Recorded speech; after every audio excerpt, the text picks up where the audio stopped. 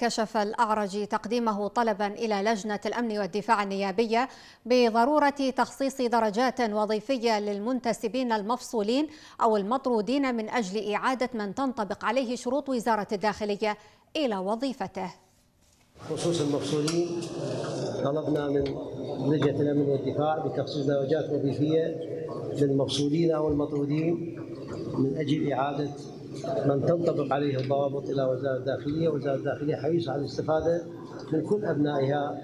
ولكن نعتقد أن الدرجات الوظيفية والوضع الاقتصادي يتطلب منا بذل الجهود من أجل إقناع مجلس النواب بتخصيص الدرجات الوظيفية لهؤلاء وكذلك تخصيص الدرجات الوظيفية لمن هم الآن في الخدمة منذ أكثر من سنة بالمحافظات التي كانت تحت تنظيم داعش الارهابي